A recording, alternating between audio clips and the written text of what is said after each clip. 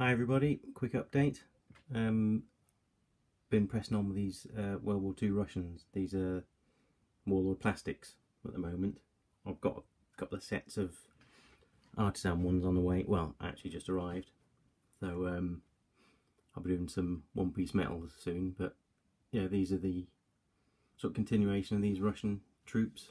Really enjoying them. Um, what we've got here are well these three are actually going these well this lot here are part of sort of complete the rifle um, squad because I've got um, five I think two four no I've got six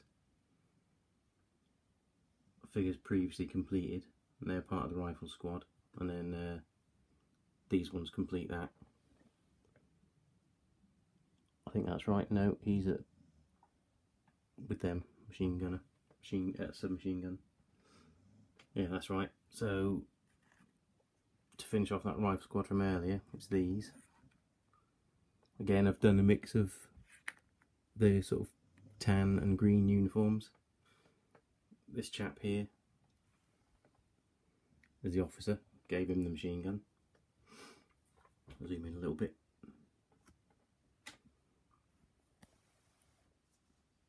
Actually, I've not quite finished these, to be honest. Uh, I've got a, I've got some of these resin bricks on the base. I've got to paint those yet, and the officer's got to have his red headband done. But other than that, I think they're pretty much there.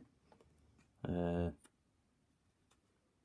yeah, there's the light machine gunner, and his mate is from the previous batch kneeling down. In fact, I might as well stick him behind. You can see who's who in the rifle regiment.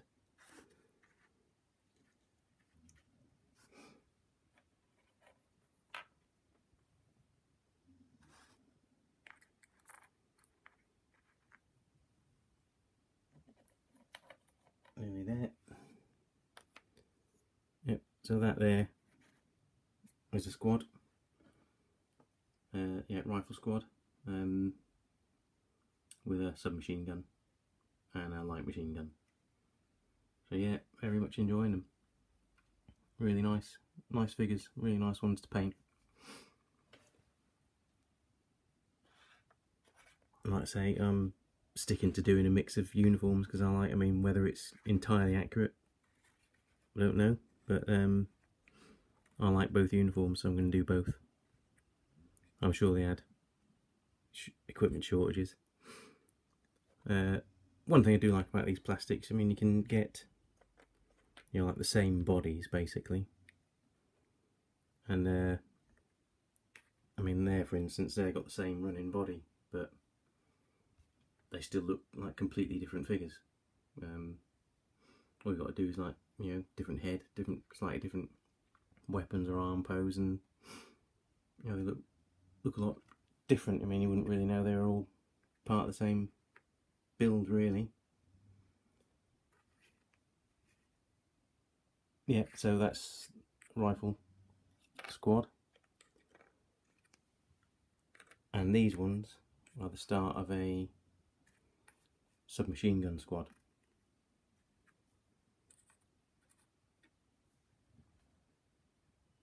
Um, the only thing I'm finding with these plastics and submachine guns is there's plenty of submachine guns, but there's not that many arms that hold them properly. I mean, some of these have kind of, you know, they're just about in there, but they're not really holding it quite properly. But it looks good enough from a distance. So that's my only problem there. Not enough arms for the sub, for the SMGs.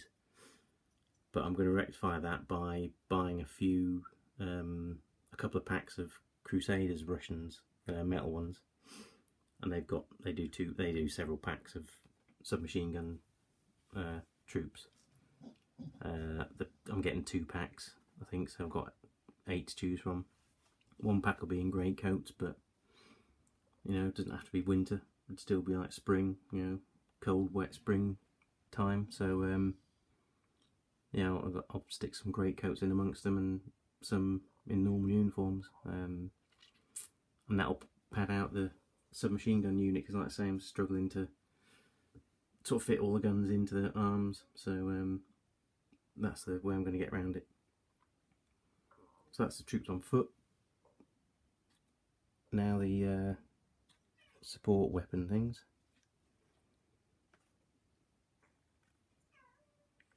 That's a cat meowing, wanting food. This is like the light machine gun to go with these, with the submachine gun squad. Uh, get a better look at it.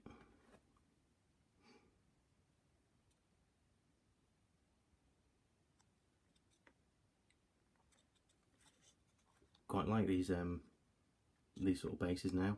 Uh, I was never a fan of more than one figure to a base, but you know, I, I like it for these uh, support weapons and light machine guns. That's my cat Starsky thinks he's going to be fed now and it's too early. Not yet, mate. No, not yet, buddy. Excuse me. Uh, so that's the yeah, light machine gun team to go with the submachine gun squad. And then this is an anti-tank rifle.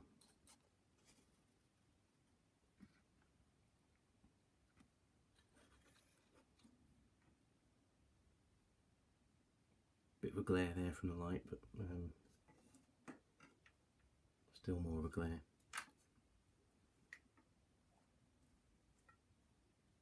Slightly better maybe.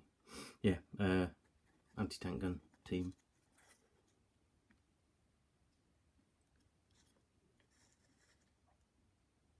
happy with how these are coming out. Uh, like I said, for this, uh, for these Russians, I'm doing them as uh, like urban setting. And what I've done here is, uh, when I've been to Salute, the company called Sally Forth, I think they're also called sort of War Games Buildings or something like that, but Sally Forth's the name I know them by. They do some MDF buildings, and they do these photorealistic prints printouts to go with them. So you sort of make the building up, and these are sort of photorealistic textures that are um, on adhesive paper, and you obviously attach them to the building. I haven't bought any of the buildings yet. Uh, I like the look of them, so I'm probably going to. But at the moment, you can actually buy these photorealistic textures as a a PDF printout. Um, what as a PDF? I'll just show you sort of how it comes.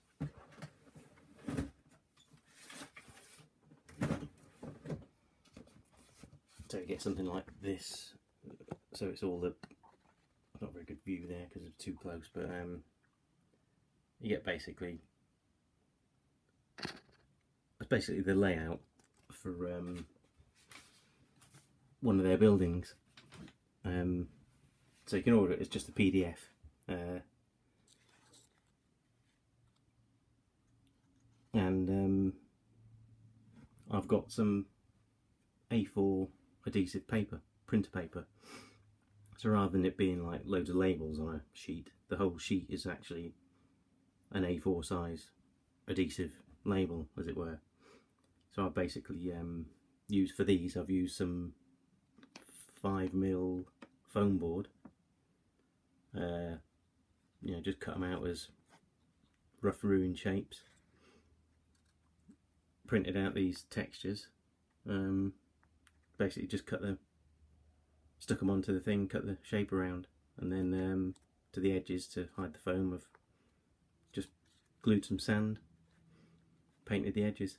Um, I think they look great. I'm really pleased with them. They do uh, three or four different textures. They got quite a few buildings. I say, I do quite fancy getting the buildings, but um, at the moment I'm just sticking to ruins. I mean, what I might use these sheets for is actual creating larger scenic ruins. And, um, you know, so do some damaged buildings and just get as much as I can out of the, of what the, I say that side, the this building edge.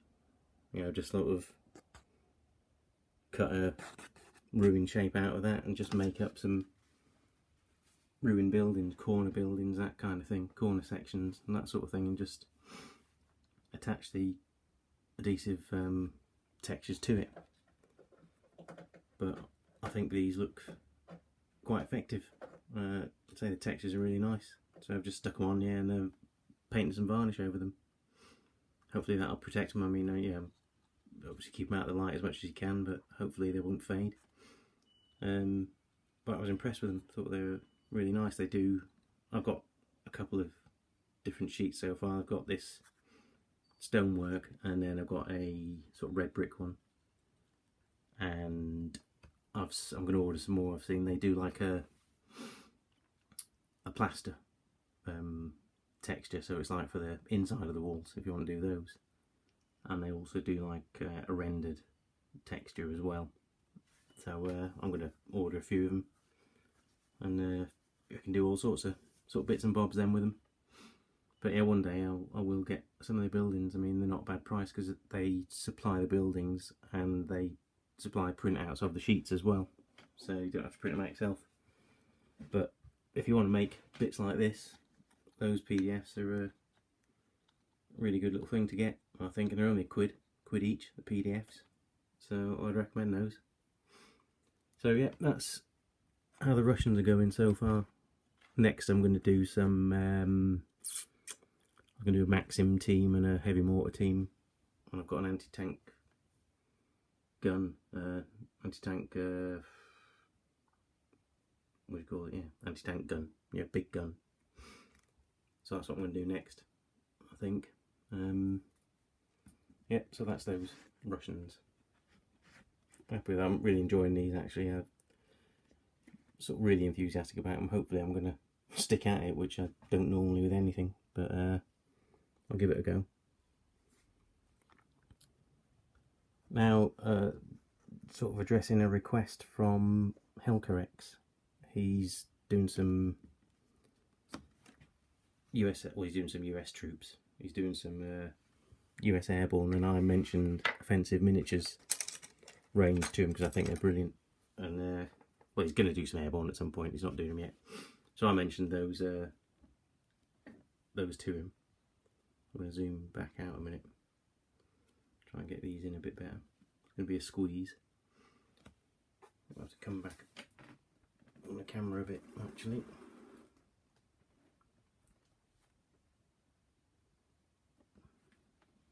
Yeah, Helcorex is doing a thinking of doing US Airborne. I mentioned these offensive miniatures to him, so he was asking about how they compare to Warlord. So I've here's another quick figure comparison, like uh, a few different types. So we've got an Artizan um, German paratrooper. That's a metal warlord US Airborne. That's an offensive miniature airborne. This is plastic warlord airborne. That's a Crusader British paratrooper. This is an assault group um, Panzer Grenadier. Then we've got a plastic Perry Desert Rat and then a plastic Perry, uh, metal Perry Desert Rat. So you can see roughly how they compare. Um, I'll just zoom in for Helcorex's sake for what he wanted to see. So there's your sort of comparison of Warlord and um, Offensive. I did. I already mentioned to him in comments on one of his videos that the uh, offensive ones are a bit more realistic pro uh, proportions, so they're a bit slimmer, whereas Warlords are a bit chunkier. But height-wise, are pretty much of a muchness. Just they got like you know slightly bigger hands and heads and that sort of thing, really. But I'd have no qualms about mixing them. So for Helcorex, there's a comparison for US Airborne. Hope that's of some help. And for everybody else, well yeah, like I say, you got Artizan there. Artizan Warlord, Offensive Warlord, Crusader, TAG, and then the Perrys. I would say they all mix well apart from the Perrys are a bit smaller. The Crusader one's quite chunky. But uh, generally, you know, I, I would mix them all, I think. I mean, I, for the desert, for the Perry ones, I think I've got loads of Perry Desert Rats and Afrika Korps. And despite the fact Warlord had just bought their sets out, I think I'm going to just stick with the Perry ones because they all do match, obviously, perfectly together. And they've pretty much got the range covered themselves. So, I say that, I'm bound to buy the Warlord, Afrika Korps and, and uh, Desert Rats, but moment uh, the way I'm thinking at the moment is when I get round to it, oh, when I get round to it, I'm most likely going to stick with Perry's for the Desert War stuff. But I will get a box or two anyway. So yeah, that's a, a quick figure comparison. Um, yeah, as you can see, like the Perry's are smaller and more slender, but great figures. Uh, they're all great figures. All these ranges, I love them all. I think they're all great. Um, but yeah, for Elcor there's your US Airborne comparison. So height-wise, pretty much similar. It's just the Warlord's are a bit more chunky because the offensive ones are a bit more uh, realistically proportioned. So uh, that's about it. I've had a few more subscribers popping up, thanks to you. Uh, you all know who you are. Uh, thanks for subscribing. Thanks to everybody who does subscribe and who watches and comments, as always. So uh, much appreciated. Uh, I'll try and get another update done in another week or two. I'm gonna, like I say, I think next I'll do a few um, these Russian teams, mortar teams, and maxims and that sort of stuff. Have got a few Roman bits to do. Uh, not necessarily for me, but uh, for someone else. So I'll probably be putting those up. actually Britain's. Uh, so I'm to have to get started on those at some point soon.